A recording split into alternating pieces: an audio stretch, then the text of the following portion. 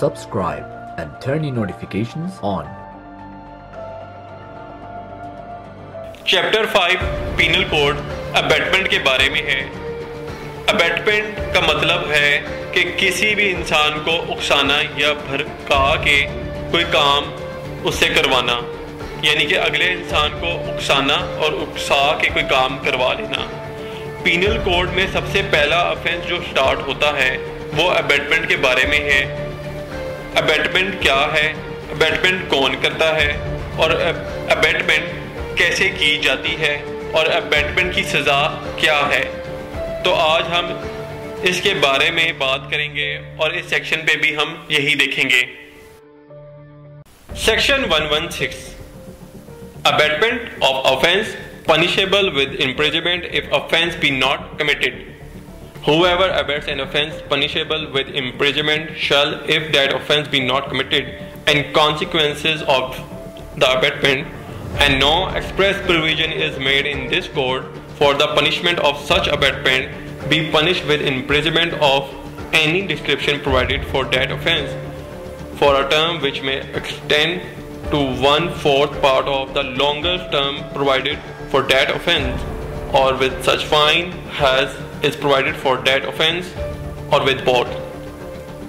If a better or person abets a public servant whose duty is to prevent offense and if the abettor or the person abet is a public servant whose duty is to prevent commission of such offense the abettor shall be punished with imprisonment of any description provided for that offense for a term which may extend to one half of the longest term provided for that offense or with such fine as is provided for the offense or with both मतलब ये कि अगर आपने किसी ऐसे जुर्म के लिए किसी को भड़काया है या उकसाया है जिस जुर्म की सज़ा जेल है और पीनल कोड में जुर्म भड़काने और उकसाने वाले के लिए कोई रिटर्न सज़ा नहीं होती या नहीं मिलती अगर तो भड़काने और उकसाने के बाद जुर्म नहीं होता तो भड़काने वाले को इस सेक्शन के अंडर या इस सेक्शन के अंदर सज़ा मिलेगी और दी जाएगी।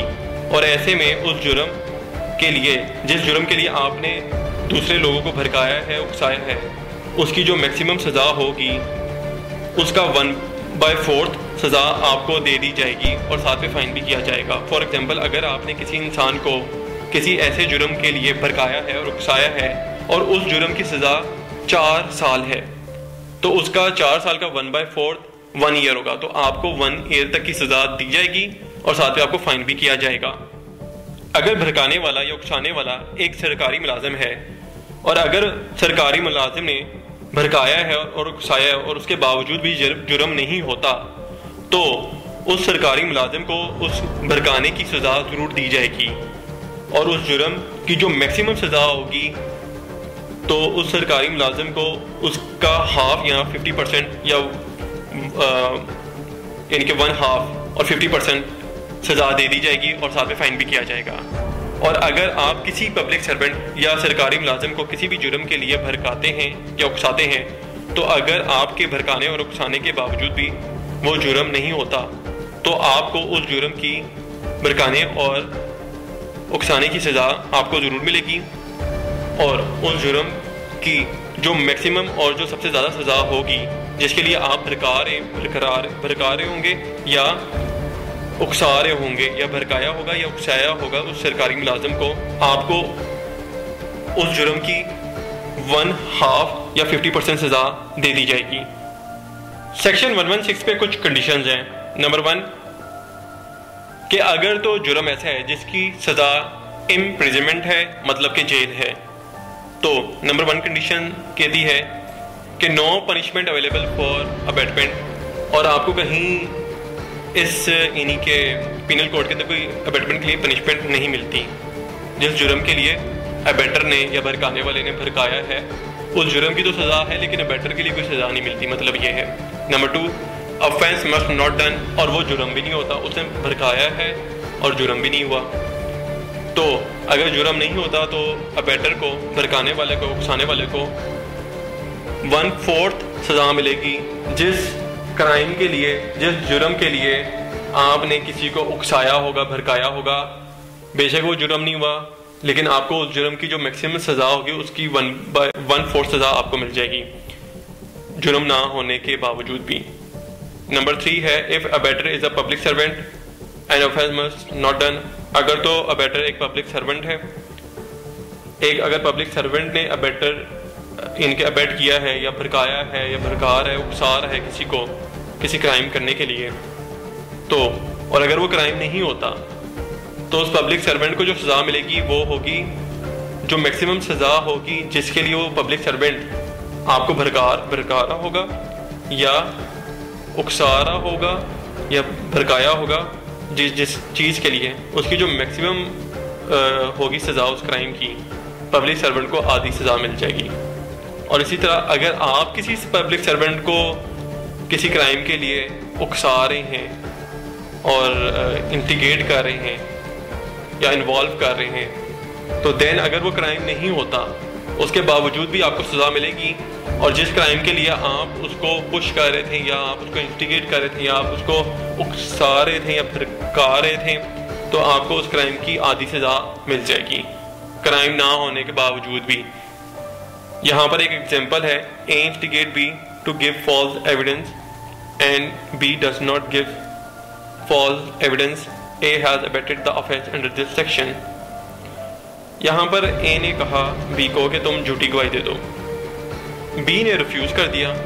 हालाँकि बी ने रिफ्यूज कर दिया और झूठी गवाही नहीं दी, लेकिन ए ने अबेटमेंट की है। ए ने एक ऑफेंस की है। तो ए ने उसको उकसाया है, भड़काया है तो उसकी सज़ा ए को मिलेगी। तो जो झूठी गवाही की फॉल्स एविडेंस की जो मैक्सिमम सज़ा है, अगर यानी कि वो एक्ट हो जाता है और जो उसकी मैक्सिमम सज़ा है, उसका वन बाय फोर्थ अबेटर को मिल जाएगी। या, क्योंकि यहाँ पर क्योंकि अफेंस नहीं हुआ इसलिए अबेटर ने लेकिन अबेट किए तो यहाँ पर उसको वन बाय फोर्थ सज़ा मिल जाएगी। इसी तरह एक और एग्जांपल है। A offer a bribe to a public servant and a public servant refuse to accept the bribe A is punishable under this section A ने एक पुलिस ऑफिसर को कहा, रिश्वत की ऑफ़र की। पुलिस ऑफिसर ने रिफ्यूज कर दिया। यहाँ पर इस सेक्शन के अंदर फॉल करने का जो बेसिक एक है, एक एलिमेंट है कि ऑफेंस बी नॉट कमिटेड के ऑफेंस नहीं होना चाहिए, फिर आप फॉल करेंगे। तो उसने रिफ्यूज कर दिया, लेकिन अबेटमेंट हुई है, आपने उकसाया है, किसी को ऑफ़र दी है इंस्टिगेट किया है इन्वॉल्व करने की कोशिश की है, किसी के साथ कोई साजिश के अंदर इन्वॉल्व हो करना की कोशिश की है आपने किसी को तो आपको तो सज़ा मिलेगी। हालाँकि आपका मकसद पूरा नहीं हुआ तो वो जो आपको सज़ा मिलेगी वो होगा।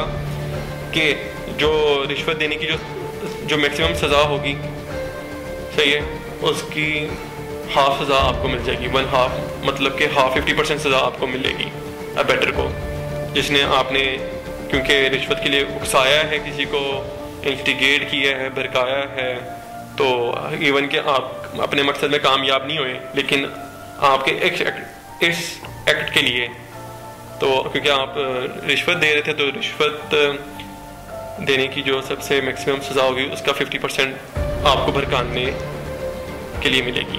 तो आपको 50 परसेंट सज़ा मिल जाएगी। एक और एग्जांपल है A police officer aware commission of a robbery here the robbery is not committed but a police officer is still liable and has abetted the offence under this section यहाँ पर एक police officer था, उसने एक चोर के साथ मिलकर रॉबरी का प्लान बनाया।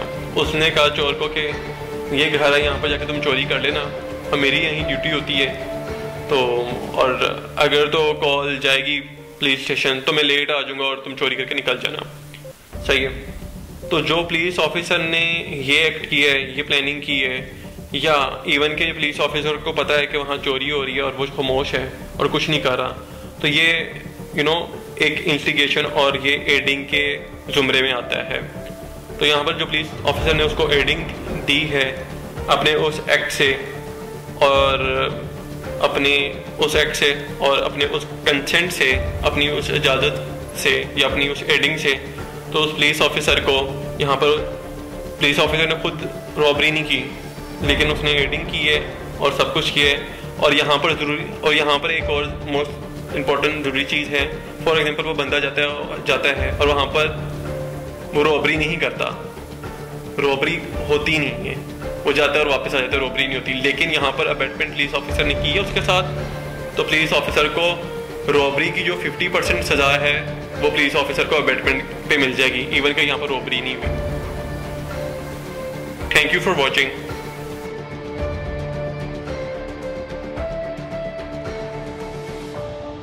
Subscribe and turn your notifications on.